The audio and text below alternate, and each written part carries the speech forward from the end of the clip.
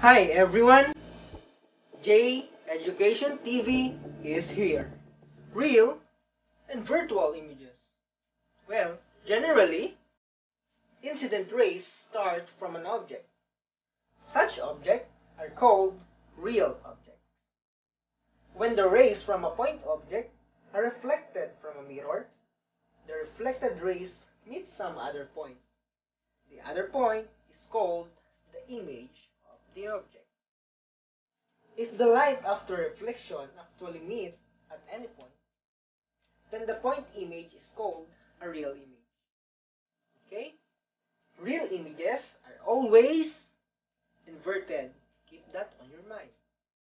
Real images and the path of ways which form them are shown in continuous lines. If the light rays after reflection appear to come from point, the point of image is called a virtual image. Virtual images are always rect, and the path of the rays forms them is shown by dotted line. Let's listen to my friend from USA.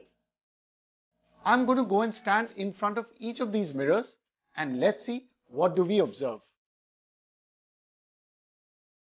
If I stand in front of the first mirror, I appear to be the same height.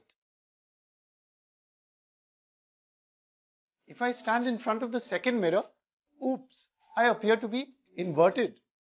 Now if I move close to the mirror, I appear to be magnified.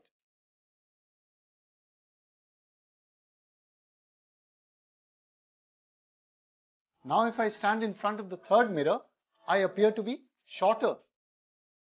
Can you guess the type of mirror for each of these? That's right. The first mirror is a plane mirror.